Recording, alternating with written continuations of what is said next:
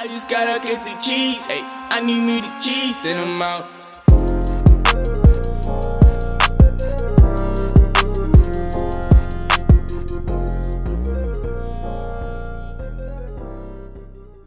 Hey, listen, bruv. It doesn't get better than this. Right on another episode, same strategy, trading volatility 75 index. trading? Nah. Analyzing volatility 75 index. I got flu, but I just had to do it for my people. So, right, I've seen a couple of comments. Actually, I've seen more comments. You guys saying that I must analyze volatility 75 index for you. Or in detail, I must analyze synthetic indices for you. So I thought I should just do this for you guys and show you that with my teachings, you'll never go wrong. Whether you're trading stocks, whether you're trading indices, whether you're trading synthetic indices, whether you're trading shares, whatsoever that you're trading, bruv, listen. So about to get into this uh, pair and obviously guys, I'm so excited. After a very long time i'm sharing a volatility 75 index setup. So excited about this one. So if you're new to the channel please make sure that you hit that subscribe button whilst watching. Hit the like button and share this video with your friends. But if you are a returning subscriber thank you for the continuous support man. Let's keep the numbers running you know we're on the road to 10,000 subscribers and we're gonna reach there by all means necessary. Oh without wasting time because i feel like now i'm talking too much. I don't even know why i'm talking but maybe I, I just enjoy talking. Okay but fine guys. As per usual we're gonna start with the daily time frame. So on deriv or on binary is written 24 hours. So you know what 24 hours make? 24 hours make a day. So let's get into it. Same strategy. Scaling from a bigger perspective. First market u10 second market u10 third fourth. Doesn't matter no more. So let's just let me just for this line. So this is how it looks like. Keep it in mind bro that volatility 75 index or synthetic indices when it comes to them they don't just give you that respect most of the time especially on bigger time frame. It just be wilding out but it's just a matter of you being patient and obviously trusting what you do right? Trusting your and definitely gonna see the results. So let's just consider this one, these levels. I feel like they're the most relevant ones. So this because this was our area of supply there. Then the markets ever since has been influenced, even though the markets are just so stubborn, but at the end of the day, we're supposed to get that rally. I mean, we're supposed to get that shred because a rally is when the market is buying. So this is what it looks like coming to the lower part of the market. We're looking for these turning points. The ones that are visible right now, or the ones that are actually making sense to me, have to be these ones. I'm not saying that other ones are not making sense, but I'm saying the ones that are making sense to me right now, bro. These ones, you can see. Volatility 75 is so stubborn, but like I said, if you believe and trust in your strategy, if you become patient, then the rest is history. This is how it actually looks like currently. Markets came here, so this was supposed to be our buy area of buy. Markets kind of like created a free break area, but then at the later stage, markets came back and we had a proper respect just right there. Just imagine, who'd have thought? Then another one there.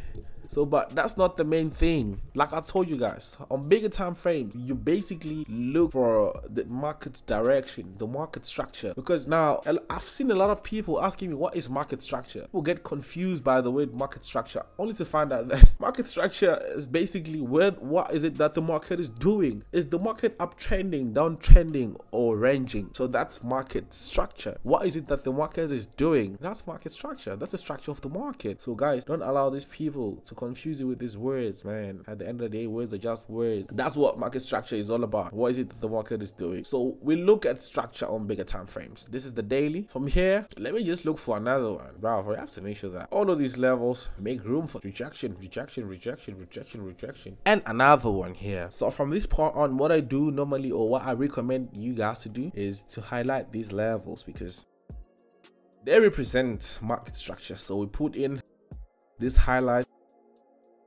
just for reassurance that when you switch to lower time frames and you see this purple thing or whatsoever color that you're going to be using you're going to be so confident that, that nah this is the area that I was I'm supposed to look at right? So the color doesn't matter. Whether you use black blue white it's all up to you man. At the end of the day we trade uh the markets trade the movements not the color right? So I got beautiful flu today I'm gonna be fine though. The change of season. So right now we're going straight to the mother time frame.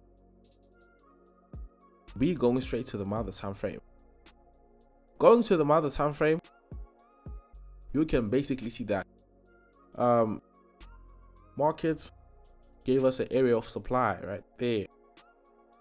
Obviously previously respected using the candlestick confirmations you can see yourself. Markets gave us that thing that we actually wanted.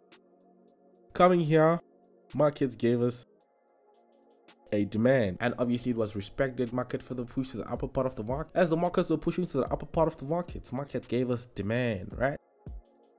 This thing came here tried to break here but you know we're only relying on a minimum of two candlesticks. So first one second one third one formed inside so markets actually pulled back couldn't hold longer outside of the zone. So market came back and from there it pushed all the way to the upper part of the market right? So as the market was pushing up so obviously we, we no longer recommend this supply because it was previously uh, respected. So now it's a break free area. Come on now. Hope you guys are following. So right now markets as the markets are pushing to the upper part of the markets gave us another newly formed fresh uh, supply right there so now the markets are actually respecting this supply however markets also gave us a demand right here what do we do with this demand? Because it was previously supply right there. Now it's demand. Why is it that we actually look uh, towards getting, right? Remember, I told you that now this is a free break area. Markets are most likely to break to this level and further push to the lower part of the market. And one, when the markets are pushing to the lower part of the market, where are the markets going?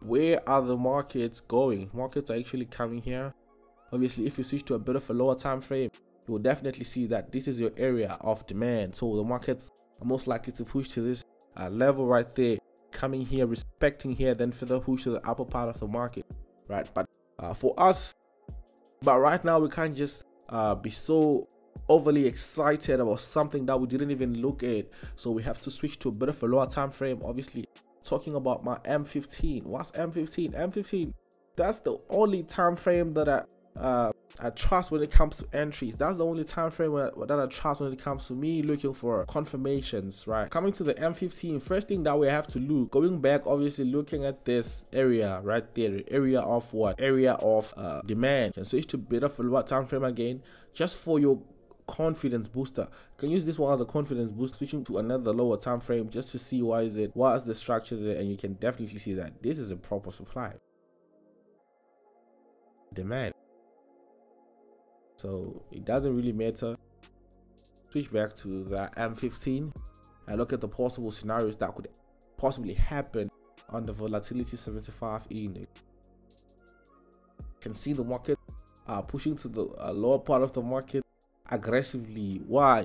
Simply because this is a free break area. And you can definitely see that what made the markets make a u-turn was this um, supply area right there. So the markets came here. First candlestick closed below the second closed below when the third candlestick formed that's where you're actually supposed to execute that seller and move the markets as they were moving to the lower part of the market. Still early to hop in though. Just take this thing and move it all the way to the lower part of the market. That's a possible scenario here we can obviously do like this. If the markets break free here wait for a retest. But if the markets are aggressive with the breakout just wait for a minimum of two candlestick to close below below because on synthetic indices an immediate breakout most occurs on the m15 that's where immediate breakouts normally happen. So you can just add another uh, trade and move the markets obviously all the way to this level here. Right? It's gonna be something that's looking like that. Then from there you can also possibly look for a proper rejection. Right? Because keep in mind that this is a very strong uh, range of markets from a bigger perspective. I'm talking my four hour time frame that's where we actually see that the markets are just playing around this area.